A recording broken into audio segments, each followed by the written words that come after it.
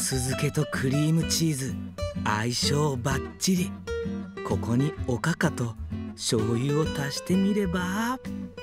味がまとまった。おかか昆布。うん。最高。さらにツナも入れてみる。マヨネーズもいっちゃえ。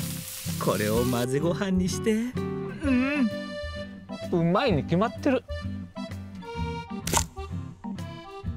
お次は肉味噌だカブの葉を混ぜることで緑の風味と食感の良さが生まれるはず。これを炒め合わせて。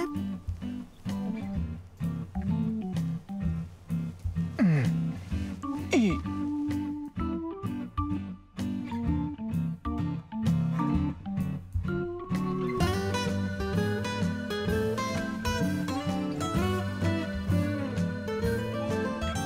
できた。